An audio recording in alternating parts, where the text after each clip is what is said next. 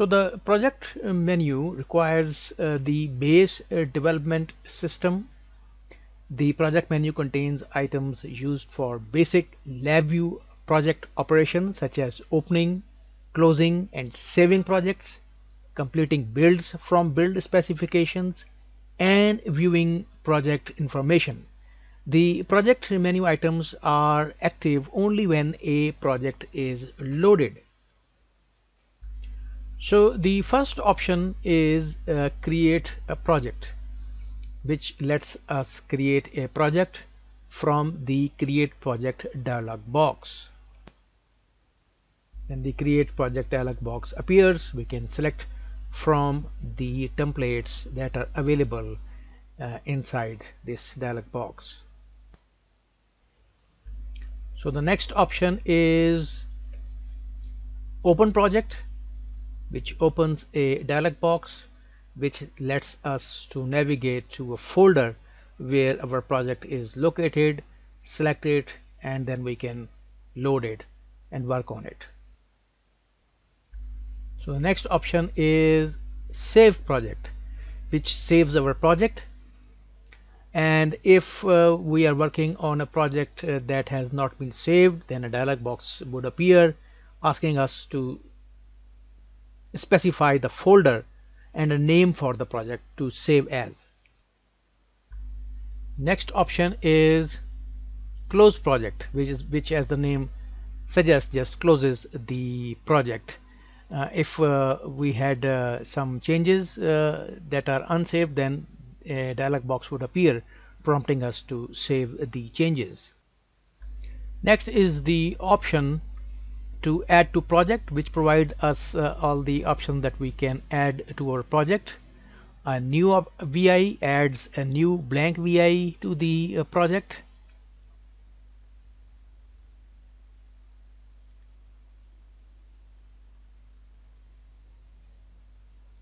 If uh, we choose this option with three ellipses then a dialog box will appear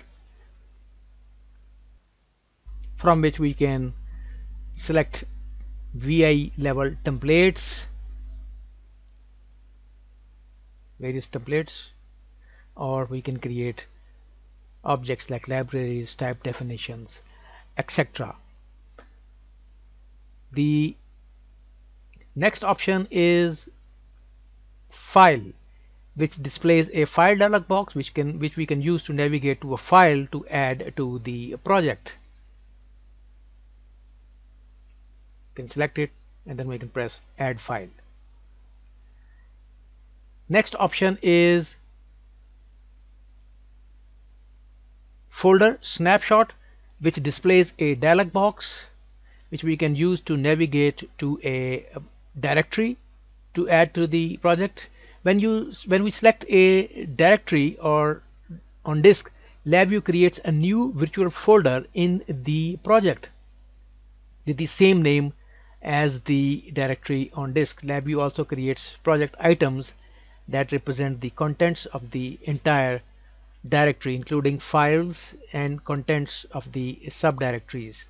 After we add a virtual folder to a project, LabVIEW does not automatically update the folder in the project if we make changes to the uh, to the directory uh, on the uh, on the disk.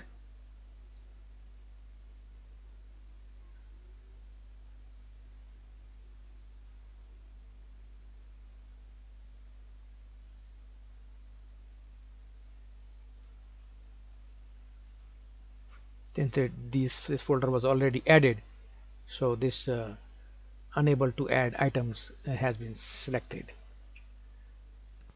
And the folder is now added in this location. So the next option is if we have my computer selected then the next option is folder auto populating and this also displays a dialog box which we can use to navigate to a folder which we can then add to our project by using this uh, select folder button. LabVIEW continuously monitors uh, and updates the folder according to changes made in the project and on disk. Uh, this item is available only if we select a target or a folder under the target in the project explorer window. The next option is hyperlink which displays a hyperlink properties dialog box. We can add hyperlinks to link to files or directories that are not on the local computer but are accessible on the internet or the local network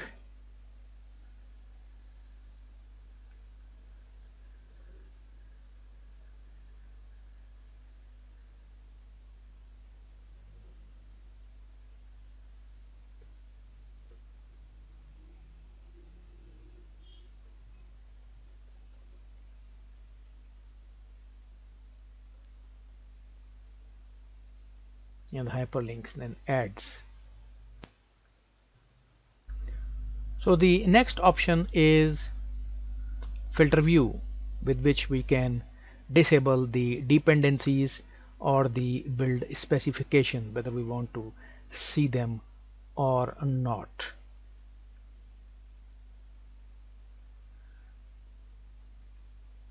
Next option is show items path if you select it then the project uh, window shows you the full path uh, to the items in the project. So the next option is show items uh, file information. If you select it then the project file information dialog box appears. You can select items and see corresponding uh, item name in the corresponding item name uh, section. You can also export the file in a paths select a destination and save the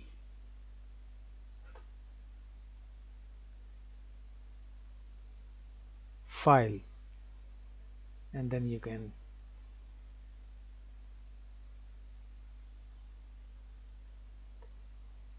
see these all these same information in this text file.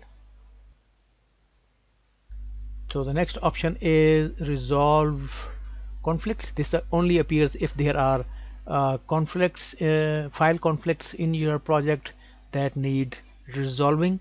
And the last option is properties which shows you the project properties dialog box